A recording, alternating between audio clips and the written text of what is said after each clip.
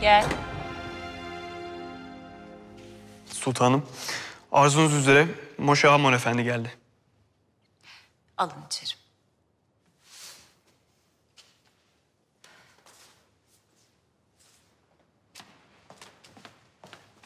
Sultanım.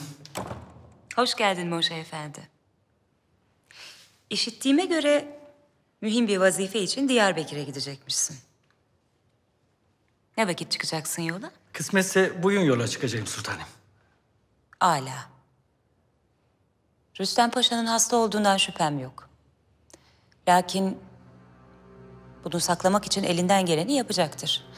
Bu yüzden tedbirli ol. Merak buyurmayın sultanım. Nasıl merak etmem. Mevzu bahis yeğenimin istikbali. Şayet paşa cüzzam değilse... ...bunu ispat etmeye mecbursun. Bunu ispat etmek güç sultanım. Zira henüz sirayet ettiyse bu cüzzam öyle hemen belli olmaz. Ben de bu yüzden söylüyorum zaten. Eğer ispat etmeden paşanın iyi olduğunu söylersen... ...verilecek yanlış bir kararın bedelini kendi canınla ödersin.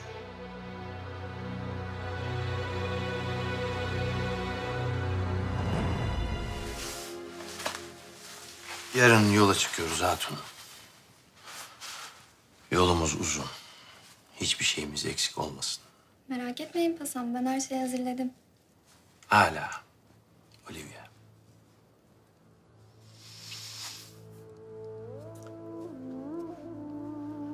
Madem artık baş kalfamsın, senin ismini değiştirmek icap eder. Siz nasıl arzu ederseniz pasam. Sofya. Moja lijepo, Sofya. Benim bir kardeşim vardı. Adı Sofya. Rahmetli validem onu Ruja Prolyace diye severdi. Gülbahar manasında. Bundan sonra senin ismin Gülbahar. Gülbahar. Gülbahar. Gel. Paşa Hazretleri. Hünkârımızın hususi hekimi Moşe Efendi geldiler.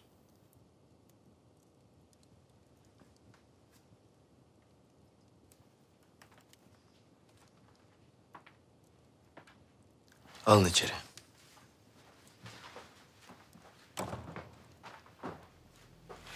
Paşa Hazretleri, Hayrola Moşe Efendi? Hangi rüzgar attı sizi Diyarbakır'a? Halep'e gidiyordum paşam bazı ilaçları temin etmek üzere. Çarşıda kulağıma bazı dedikodular çalınınca siz kıymetli paşamızı ziyaret etmek istedim. Neymiş o laflar? Söyle de biz de bilelim. Allah muhafaza. Ne kadar doğrudur bilemem. Lakin sizin hasta olduğunuzu söylediler. Ne hastalığı Moşe Efendi? Hasta gibi bir halim mi var? Gördüğün gibi sapasağlamım. Çok şükür, çok şükür. Yalnız dedikodular almış yürümüş. Cüzam diyorlar paşam.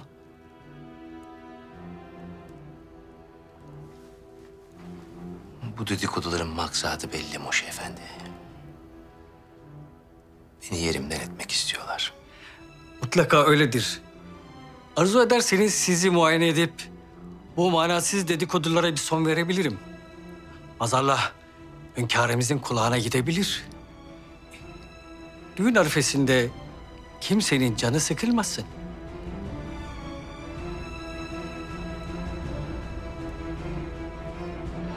Payitahttan ne haberler getirdin Moşe Efendi?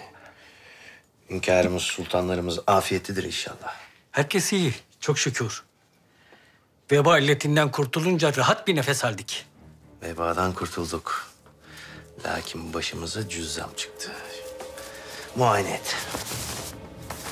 Muayene et de neymiş halimiz, ne değilmiş görelim.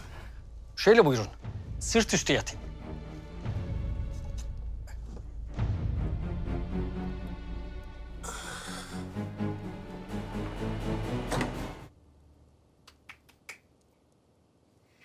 Kalkabilirsiniz paşam.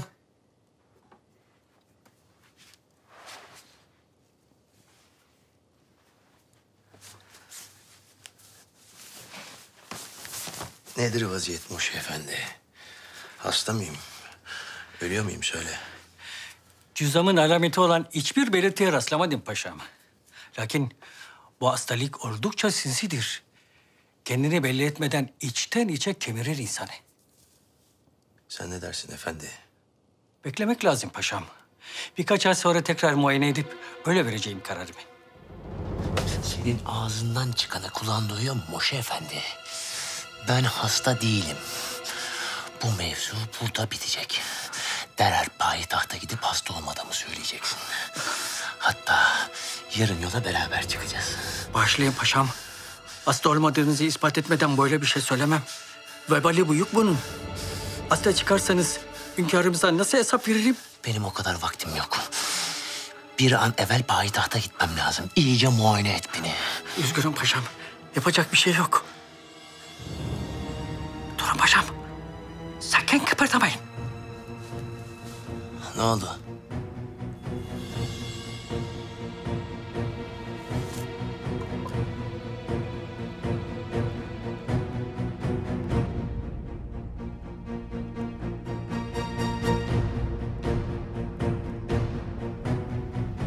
Nedir o? Bit paşam. Saçınızdan bit çıktı. Sizler de şahit misiniz? Şahidiz efendim. Şahidiz efendim.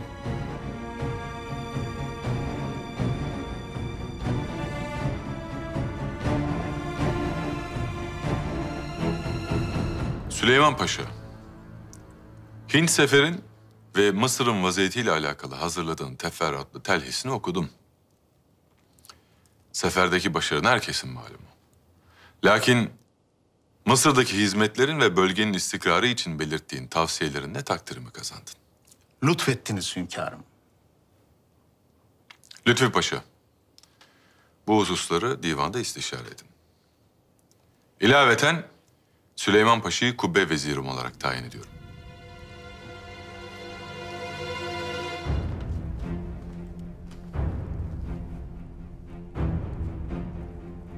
Bundan böyle vezirimsin. Hayırlara vesile olsun inşallah. Sizin gibi yedi iklimin sultanı bir hükümdarın veziri olmaktan şeref duyarım.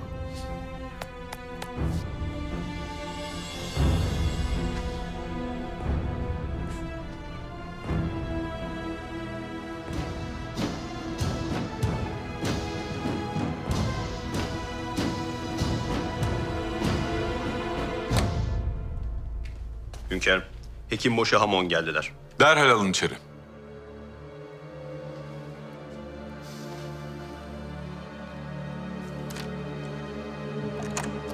Hünkârım, emriniz üzere Rüstem Paşa'yı muayene ettim.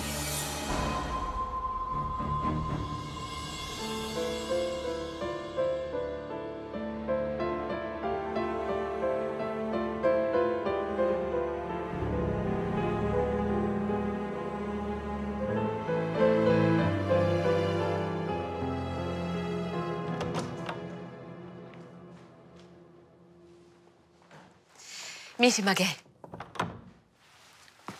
Validem, beni çağırtmışsınız. Bak bunlar yeni geldi. Hepsini senin için hususi olarak getirdim. Seç beğen.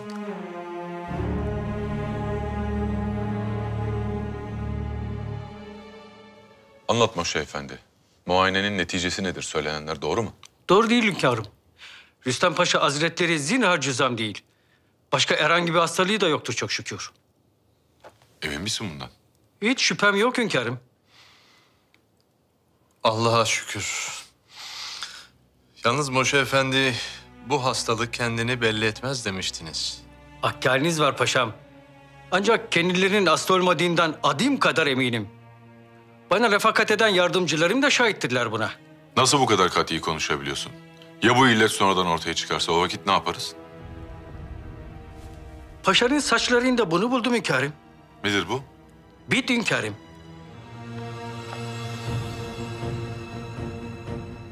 Malumunuz üzere cüzzamlı bir hastanın üzerinde bit olmaz hünkârım. Bundan mütevellit paşanın Mihrimah Sultan Hazretleri ile evlenmelerinde bir sakınca yoktur.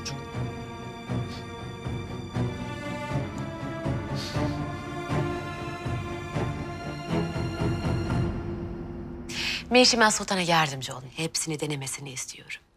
En çok hangisi yakışacaksa onu seçelim. Her şey kusursuz olsun istiyorum. Ay parçamın güzelliği gibi. Validem biraz erken davranmıyor musunuz? Henüz ne olacağı belli değil. Afife Hatun, söylemedin mi? Sizin söylemeniz daha münasip olur diye düşündüm sultanım. Ala. Mişima Rüstem Paşa yola çıktı. Kendisi düğün için geliyor. Nasıl olur? Cüzzam değil miymiş?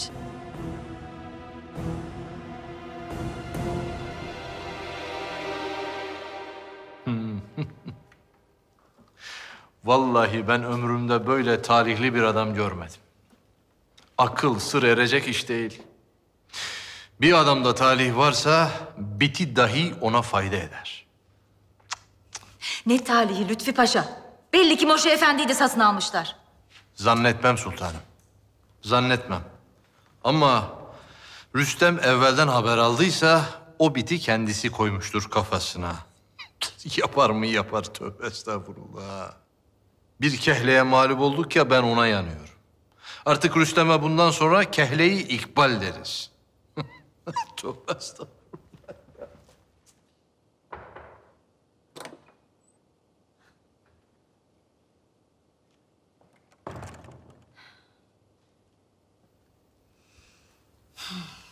Sen neden susuyorsun kardeşim? Yoksa mağlubiyet ağır mı geldi?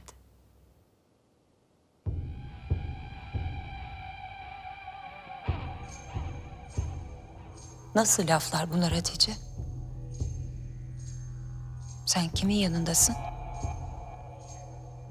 Kaybetmemden zevk alacaksın sanki. Estağfurullah. Lakin hepimizi beceriksiz olmakla itham ettin ama gördüğün gibi senin de bizden pek bir farkın yokmuş. Kendine bu kadar güvenmenin sonu bu olur işte. Sen de kaybettin. Ben kaybetmedim Hatice. Henüz nikah kıyılmadığına göre mağlup olmuş sayılmam. Öyle değil mi?